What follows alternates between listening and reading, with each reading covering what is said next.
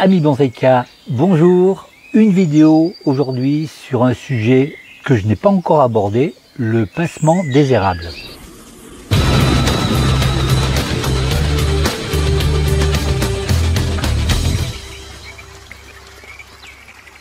Je suis Hervé, Hervé Revelard. Bienvenue sur Art Paysage Formation. Je suis passionné par l'art du bonsaï depuis 1986. Alors si tu veux apprendre à faire du bonsaï à partir de rien, reste sur cette chaîne on boira une bière ensemble et on fera du bonsaï.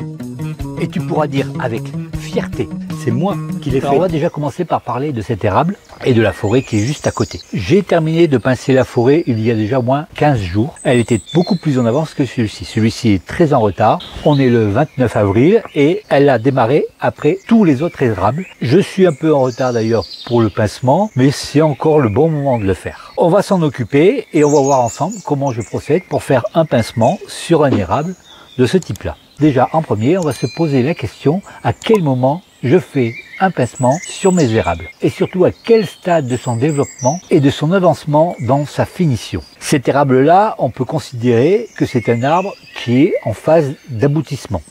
La forêt, ici, est aussi, on peut considérer, en phase d'aboutissement. Quant à celui-ci qui est là au milieu, où j'ai encore laissé un tire-sèvre pour cloisonner une coupe importante que j'ai en son centre, je n'ai pas encore de gros diamètre suffisant sur plusieurs branches. Alors, je vais le prendre. Donc, c'est un arbre qui est en phase de construction sur lequel je ne pratique pas de pincement. Un arbre en construction, on ne pince pas. On laisse au contraire se développer et on fait plutôt des tailles en verre courant juin avec souvent des défoliations partielles ou totales. J'ai aussi cette forêt qui est en phase de construction sur laquelle je ne pratiquerai aucun pincement. J'ai encore quelques tire-sèves, j'ai l'intention de les laisser énormément se développer. En fin de compte, toutes ces branches-là vont se développer. J'ai besoin sur cette forêt de faire plein de cloisonnements à plusieurs niveaux. J'ai besoin que les branches prennent du diamètre. On peut considérer que cette forêt est en phase de construction, donc sur laquelle je ne pratiquerai aucun pincement. La plupart des bonsaïs que vous trouverez dans le commerce, on peut les considérer qu'ils sont en phase de construction. Il faut vraiment y mettre le prix pour avoir un arbre en phase de finition. La plupart des gens auront plutôt des arbres de ce type-là qu'ils auront acquis ou qu'on leur a offert du commerce. Si vous construisez vous-même vos arbres, dans ce cas-là, la phase de finition, en général, elle se fait au bout de 15 à 20 ans de construction. Au bout de 10 ans déjà, si vous employez les bonnes techniques, vous arriverez à un stade où vous commencerez à faire des pincements, mais pas avant. Le pincement, c'est vraiment réservé à des arbres sur lesquels on veut justement finir et fignoler le travail. Sur un arbre de ce type-là et sur un arbre en construction, vous n'avez pas à faire de pincement, ne vous posez même pas la question. Donc on va passer au pincement sur celui-ci. On va parler un petit peu de cet arbre-là, de son historique. J'ai eu une courte période dans ma vie où j'ai fait un peu de commerce du bonsaï et je ne l'ai pas fait très longtemps, je l'ai fait pendant 5 ans. C'était dans les années 90, j'étais plus commerçant fleuriste, mais je vendais en appoint quelques bonsaïs. Je faisais des achats en gros chez des professionnels et cet arbre-là, c'était un de ceux que j'avais acheté. Je crois que je l'avais acheté 800 francs, ce qui était élevé quand même pour l'époque. C'était un arbre relativement cher. Alors 800 francs au prix gros, c'est un arbre qu'on entre 1000 et 1200 francs. Ce qui était quand même une somme, on va dire que c'est aujourd'hui l'équivalent en euros. Si on veut aujourd'hui un arbre équivalent en euros, on va dire qu'on le payerait 800 euros par rapport à ce qu'il était à l'époque. Aujourd'hui, il vaut bien trois fois ce prix-là. Cet arbre-là, moi, je l'ai entièrement reconstruit en 2004. Donc, voici la photo. Vous voyez, j'avais entièrement tout coupé. J'avais mis à blanc le tronc, puisque à l'époque, ici, on avait un espèce d'entreneux très long qui faisait presque 8 à 10 cm avec un pompon et la plupart des branches étaient similaires, c'est bien souvent d'ailleurs ce que l'on trouve dans le commerce, dans des arbres importés ou même produits en Europe. Souvent, c'est des arbres avec des entreneux très très longs au départ, sur lesquels ils ont taillé et puis en fin de compte, il n'y a pas de mouvement. On se trouve avec des arbres au niveau qualitatif qui ne sont pas extraordinaires. Parce qu'ils sont produits à la va-vite, où ils sont relativement très forcés au niveau nutrition et ils sont pas vraiment très très bien construits. Donc on se retrouve avec des arbres avec des entre-nœuds de départ de branches importants. Donc cet arbre-là, en 2004, j'ai pris la décision de le rabattre totalement, de supprimer toutes les branches. Il y en a une seule que j'ai conservée, donc c'était celle-ci cette branche-là, j'avais décidé de la conserver parce qu'elle avait un joli mouvement, vous voyez, on peut le voir, hein, et un bon diamètre euh, qui me faisait une belle première branche. C'est la seule branche que j'ai conservée, cet arbre-là. Tout le reste a été entièrement mis à blanc et j'ai fait même plusieurs greffes. Ces branches-là sont greffées. J'ai une branche ici qui a été greffée, une branche ici qui a été greffée, et par contre tout ce qui est en tête a poussé naturellement. Comme vous voyez, en 2004, il y a eu quand même un très gros travail. Pendant plusieurs années, je n'ai pas pratiqué de pincement puisque je ne faisais que des tailles en verre et bien souvent même des défoliations totales ou parfois partielles. 2004 à aujourd'hui, il y a presque 20 ans, hein, dans un an, ça fera 20 ans que j'ai effectué cette taille très courte. On récapitule, c'est un arbre que j'ai acquis dans les années 90, début des années 90, qui était déjà un beau diamètre, peut-être un peu moins gros que ça, mais c'était déjà un bel arbre. J'ai omis de vous mettre la photo, la voici. C'était un arbre déjà qui était relativement gros. La photo n'est pas vraiment prise sur le bon angle. Comme vous voyez, on le voit un petit peu, hein, ça fait une espèce de boule sur le haut de l'arbre. Vous voyez, ça fait vraiment un pompon en fin de compte qui se trouvait ici. Alors c'est vrai qu'avec ses couleurs automnales et tout, c'est joli. Mais voilà, ça cache une structure euh, qui n'est pas très jolie en dessous. Là aujourd'hui, donc presque 20 ans depuis la mise à blanc de toutes les branches, aujourd'hui on commence euh, vraiment à avoir un arbre sympathique, mais voilà, il est très vigoureux, très très vigoureux, bien plus que la forêt qui est là. C'est pas tout à fait la même variété, ils sont un petit peu différents.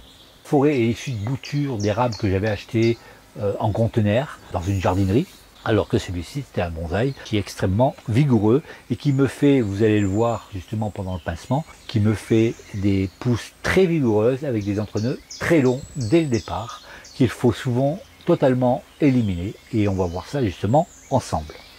Alors, on va parler un petit peu de la forêt. Donc, le pincement a déjà été effectué. Je vois qu'il y a quelques petites révisions à faire encore. J'ai déjà fait le pincement et vous voyez, elle a une certaine transparence. Pourquoi? Parce que justement, en même temps que l'on pince, on retire une feuille sur deux. Et je vois qu'il y a des nouvelles pousses qui se sont développées depuis l'autre fois. Donc, il va falloir que je m'en occupe. En fin de compte, partout, toutes les branches, dès qu'elles se développent, on la pince et on ne laisse qu'une seule feuille sur les deux qui se sont développées puisque on a un développement avec des feuilles opposées, contrairement à d'autres essences où les développements sont alternés, comme par exemple sur l'orme. L'orme, les feuilles sont alternées, un bourgeon, un bourgeon, un bourgeon, un bourgeon. Sur l'érable, nous avons des développements avec des feuilles opposées. Il y a eu des développements depuis la dernière fois que j'ai fait le pincement, donc il faut que je revienne dessus. J'ai encore quelques développements comme ça avec des entre qui sont beaucoup allongé. Donc ces autres nœuds-là, je vais les retirer. De toute façon, il y aura certainement une taille en verre dessus, avec une révision totale de tout ce qui a été fait. Le pincement a un rôle très précis par rapport au développement de l'arbre. Là, justement, comme je vous disais, on est en phase de développement. Le rôle du pincement, c'est de ralentir le développement de l'arbre. C'est de le freiner. C'est de faire en sorte qu'il pousse avec des entre-nœuds On garde de la végétation, mais on le coupe dans son élan, on lui enlève de la vigueur. En enlevant une feuille sur deux, forcément, on enlève la moitié de sa végétation. Et en enlevant la moitié de la végétation, forcément, on le coupe dans son élan et on le freine. Le but du pincement, c'est cela, c'est de freiner l'arbre dans son développement pour obtenir un arbre plus compact, avec des entre-nœuds courts, et surtout qui ne produisent pas de rameaux trop forts. C'est là tout l'intérêt du pincement, freiner l'arbre, ce que l'on ne veut pas bien entendu, sur des arbres comme celui-ci, où justement on ne veut pas le freiner, puisque l'on veut qu'il se développe pour cicatriser toutes les coupes, cloisonner, je préfère ce terme-là, pour cloisonner toutes les coupes et faire grossir les branches. Là, les diamètres de branches me conviennent. Là aussi, je n'ai pas besoin de les faire grossir plus. Ils continuent à se développer de toute manière. Maintenant, le but, c'est de ralentir leur développement on va s'occuper de celui-ci, puisque celui-ci, je viens de remarquer qu'il faut que je revienne un petit peu dessus, parce qu'il y a eu quelques développements depuis la dernière fois que je l'ai fait. Il va falloir que je refasse le tour dessus, et que je vérifie justement où il y a eu de nouveaux développements, et je vois qu'il y a, par exemple sur ce côté-là, pas mal de branches qui se sont développées depuis la dernière fois, où j'ai mes deux feuilles opposées. Donc il va falloir en retirer une sur les deux. C'est parti, je vais zoomer l'appareil photo pour que vous puissiez bien voir comment je procède. Alors pour effectuer ce travail, je me munis de mon ciseau et éventuellement d'une pince à épiler. Il y a mieux, il va falloir justement que j'investisse un petit peu dans une pince à épiler, vraiment adaptée à faire ce travail-là. Je vais commencer et j'en ai pour un petit moment, on va y aller. Là il y a vraiment du taf, hein. donc on commence déjà à enlever une feuille sur deux, partout, et on essaye de garder la feuille la mieux positionnée par rapport euh, à l'ensemble. Dès que l'on trouve une vigueur de ce type-là, voilà, avec un entre-nœud un peu long, un peu fort, qui démarrait un peu en dessous, on retire et on va garder uniquement tout ce qui est court au niveau des entre-nœuds et systématiquement enlever une feuille sur deux, tout le temps. Un travail délicat, sur un arbre de cette taille-là, ça peut être un peu long, et sur des grands arbres, c'est un travail fastidieux qui demande vraiment de la patience. Personnellement, j'aime bien rester devant mon arbre, à le contempler et à faire ce petit travail assez zen, assez tranquille. Alors on reprend. Donc le principe est assez simple.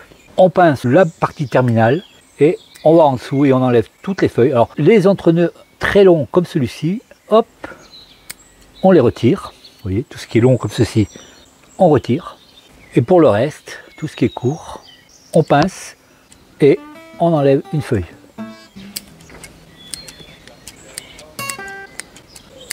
Et en même temps, on ébourgeonne aussi les endroits où on a trop de bourgeons qui démarrent au même endroit. On profite pour faire un ébourgeonnement en même temps. Alors c'est un travail extrêmement long, extrêmement fastidieux, surtout quand c'est compact comme dans cette érable là. On va pas s'épiler quand même pas mal pour faire ce genre de travail.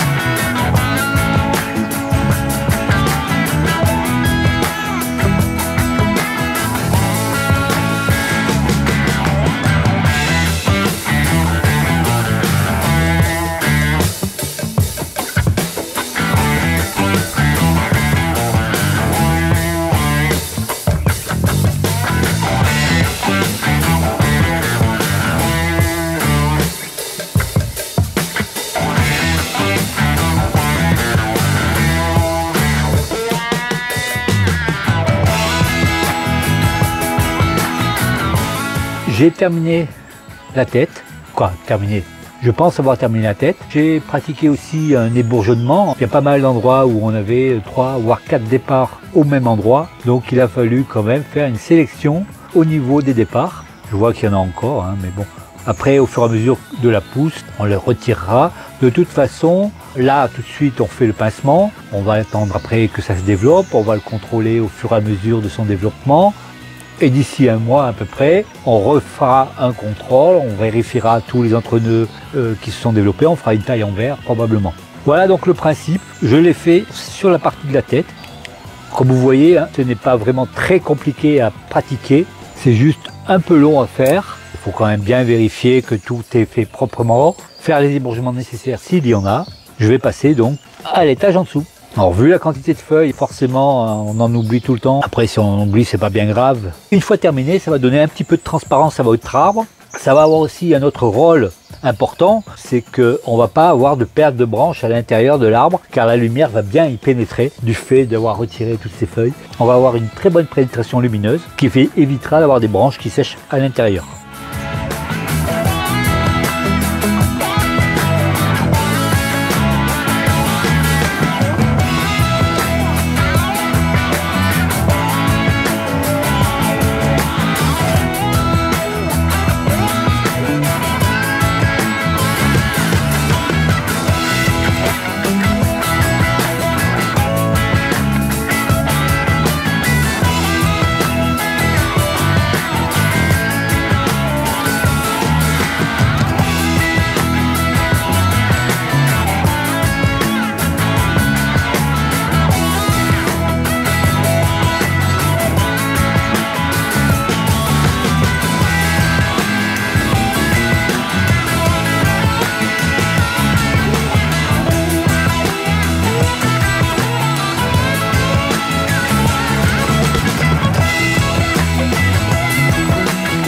En train de terminer la dernière branche et je peux vous garantir que ça a été relativement très long. Si je peux préciser des petites choses pour terminer la vidéo, ce travail-là, il est évident que moi, pour l'intérêt de la vidéo, je l'ai fait en une seule fois. Mais c'est un travail que vous pouvez tout à fait faire au fur et à mesure du développement de l'arbre. Vous n'êtes pas obligé de vous lancer à faire votre pincement et votre effeuillage en une seule fois. Vous pouvez tout à fait échelonner ce travail-là sur plusieurs jours au fur et à mesure qu'il se développe en venant ici et là faire les effeuillages et les ébourgeonnages aussi, puisque là j'ai quand même retiré beaucoup de bourgeons à pas mal d'endroits qui poussaient soit sous les branches, comme je suis en train de faire là tout de suite, ou alors qui démarraient par trois ou quatre en bout de branche. En gros, le principe est toujours le même. C'est exactement ce que j'ai déjà expliqué dans plusieurs vidéos, en particulier sur la taille en verre aussi. On ne garde pas des branches qui partent par trois ou quatre au même endroit.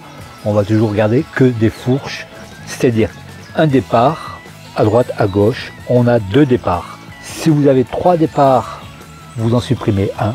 Si vous avez quatre départs, vous en supprimez deux, et ainsi de suite. Toujours garder deux départs dans le bout de vos branches.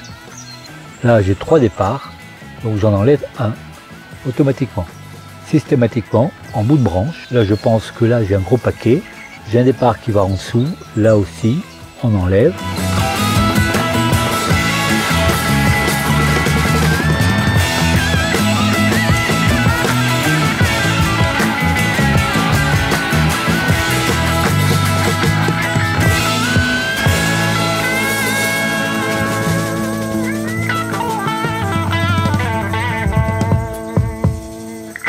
Voilà les amis, je viens de terminer le pincement et les feuillages de cet érable.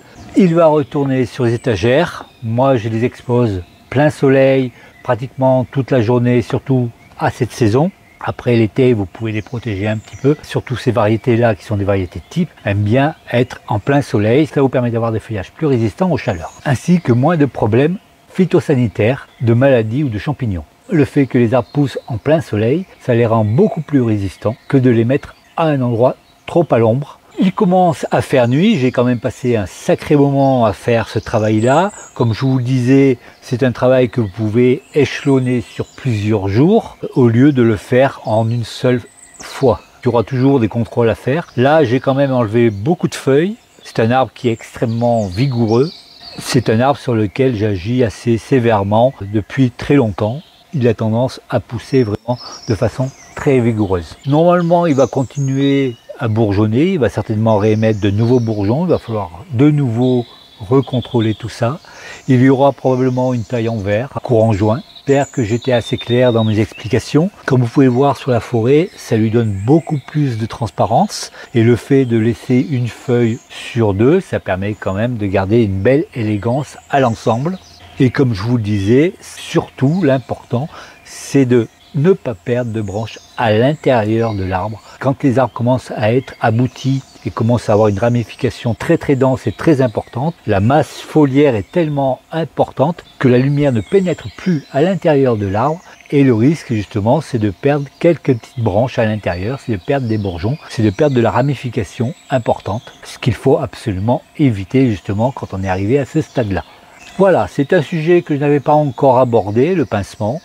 Je pense que ça pourra être utile à certains d'entre vous. En général, lorsque l'on a des arbres aboutis, on a déjà un certain niveau de connaissance et je vous souhaite justement d'en avoir autant que possible.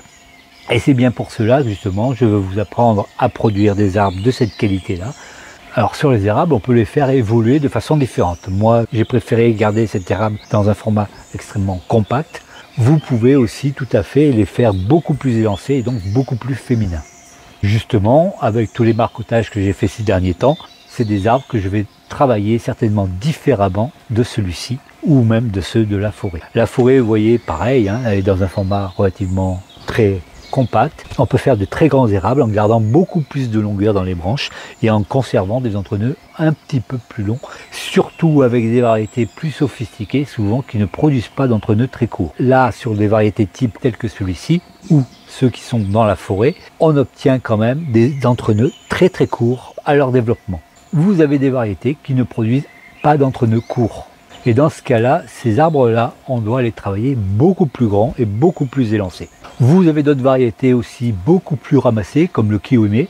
Ça, ce sont des arbres sur lesquels, justement, il est très très important de faire ce type de travail, ce pincement et cet effeuillage où il faut enlever une feuille sur deux, surtout le kiwime qui a une tendance à pousser extrêmement compact et extrêmement dense. Pour ceux d'entre vous qui posséderaient des kiwime, moi je n'en ai pas, n'hésitez pas à faire les pincements très tôt, c'est des arbres qui le nécessitent. Voilà, cette vidéo est terminée. Prochaine vidéo, la taille d'érable sur lesquels je vais produire des marcotages. Et si vous avez apprécié mon contenu, plein de pouces, mettez-moi plein de commentaires d'encouragement et même si vous avez des questions, n'hésitez pas. Je m'efforce toujours de vous répondre dans les plus brefs délais. Et j'ai constaté dans les statistiques qu'il y avait au moins 60% des personnes qui regardent mes vidéos qui ne sont pas abonnées à la chaîne. Alors, si vous ne l'êtes pas encore, c'est maintenant et c'est ici. Et si vous êtes arrivé jusque là, c'est que mes contenus vous intéressent et je vous en remercie et je vous dis à très très bientôt pour une prochaine vidéo.